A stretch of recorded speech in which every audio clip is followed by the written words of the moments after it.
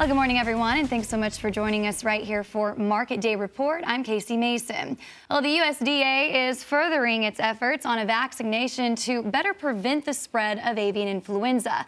But the agency is also finding that poultry exports could dramatically drop as a result. Well, the agency has said a vaccine has been developed that would be effective in chickens, but it's awaiting test results for turkeys and still planning to do more field testing. Now, the USDA's Dr. John Clifford told a House subcommittee that trade constraints continue to be an issue with the potential use of a vaccine. Well, some trade partners have said that if U.S. poultry producers start using a vaccine, exports to their countries would be stalled while a risk assessment was conducted.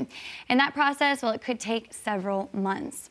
Well, Tennessee poultry producers are preparing for a possible avian influenza outbreak as wild birds start migrating south. Now, their route will take them on the eastern flyway, which includes Tennessee. So Tennessee veterinarian Dr. Charles Hatcher joins us today live in our RFD TV studio. Good morning, Dr. Hatcher, and thank you so much for joining good us. Good morning. It's good to be here. We appreciate you being our new Roy Rogers studio here in Nashville. So let's get right to it. Tens of millions of chickens and turkeys were culled this year in the spring due to that outbreak of the avian influenza. So how is Tennessee preparing for a possible outbreak if it occurs here? Well, we're working with our stakeholders, all the producers and commercial industry, as well as USDA in preparation. And we've got a, we've got a task force that's been uh, put together, and we're, we, uh, we're planning a response right now for worst case scenario for this fall.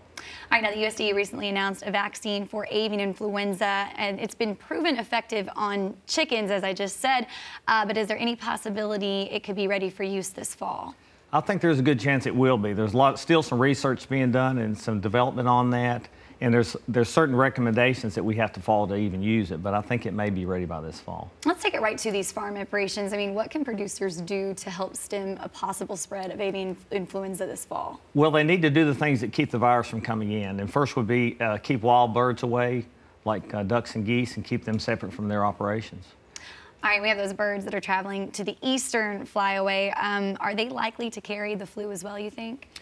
Well, we think all flyways may be affected this fall, and, and it's going to be primarily uh, geese and, and uh, duck, dabbling ducks like mallards.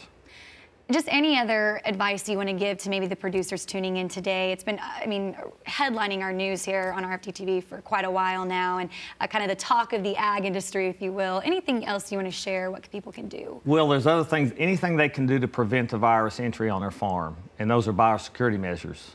And uh, so there's been evidence on this first round of outbreaks that people in, in equipment and vehicles may spread spread the virus from farm to farm, and so you, we want to prevent that.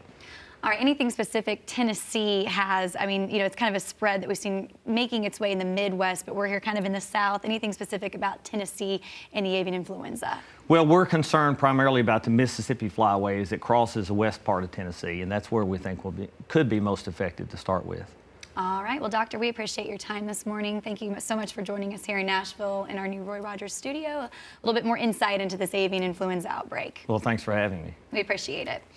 All right, well, moving on now. Dry levels of dry bean rust have been showing up in North Dakota. An extension plant pathologist at North Dakota State University says the frequent heavy dews and moderate to warm temperatures have been favorable for rust development. Now, the best time for a fungicide application to manage